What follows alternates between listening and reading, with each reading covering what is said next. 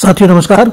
साथियों, आज हम बात करेंगे सात भाग्यशाली जादुई पौधों की, जिनमें पहला पौधा है हमारा तुलसी, जो हर घर में पाया जाता है। आयुर्वेद और वास्तु में इसकी बहुत मान्यता है।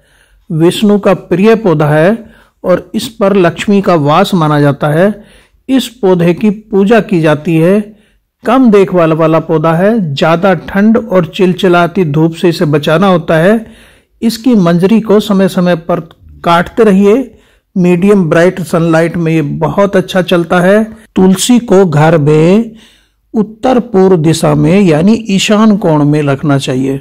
दूसरा जादुई पौधा है लकी बेम्बू। बहुत ही पॉपुलर और शुभ पौधा है लकी बम्बू। लक, पीस और प्रोस्पेरिटी का प्रतीक माना जाता है। तीन लेयर वाला लकी बेम्बू सबसे शुभ शुभ माना जाता है। इसकी तीनों लेयर पर लाल रिबन ज़रूर बांधना चाहिए। यह पानी और मिट्टी दोनों में उगाया जा सकता है। पानी को इसके बदलते रहना चाहिए। कोई स्टेम अगर काली पड़ जाए तो उसे निकाल देना चाहिए।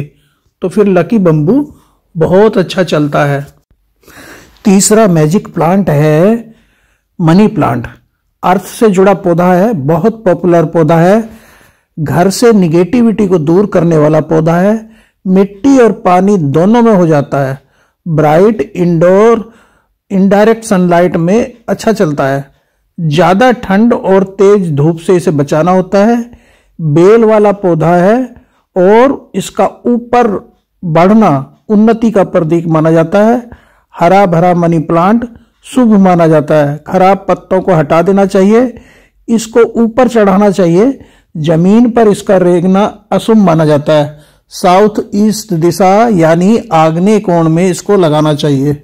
साथियों, चौथा हमारा गुड लक प्लांट है, वो है एलोवेरा एलोवेरा एक मेडिसिनल प्लांट है। हेयर और स्किन केयर के लिए बहुत फ़ायदेमंद है।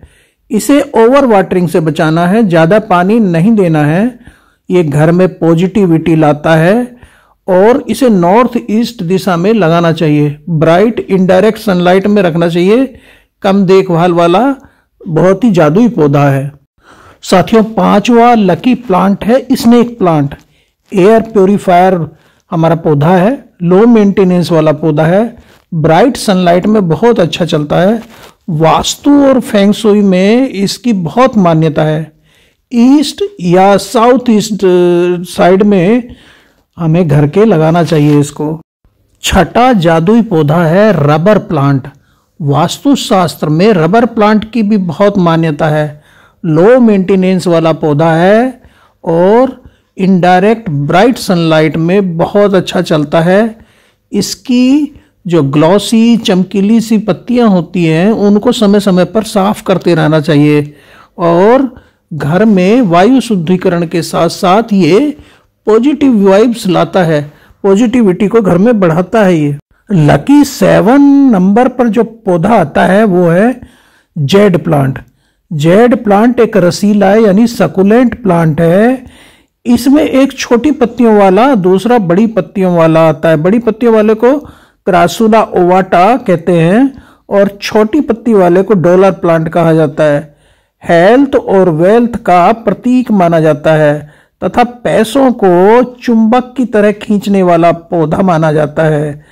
छोटी पत्तियों वाले को से बोनसाई भी बनाई जाती है। डॉलर प्लांट उसको बोला जाता है और बड़ी पत्ती वाले पौधे को जिसे क्रासुला भी कहते हैं फ्रेंडशिप फ्रेंडशिप प्लांट भी कहा जाता है। इसे गिफ्ट प्लांट माना जाता है। पॉजिटिव ऊर्जा लाता है और इसे अपने ना व्यापार के कैश काउंटर पर रखना चाहिए। Good luck. और लकी प्लांट है, जादुई पौधा है। साउथ वेस्ट दिशा में इसे लगाना चाहिए। ये बहुत ही शुभ और शांति का प्रतीक पौधा माना जाता है। तो साथियों, आज हमने सात जादुई लकी गुड लक प्लांट के पौधों की बात की, जिनकी वास्तु और फेंगसुई में बहुत मान्यता है मान्यता है।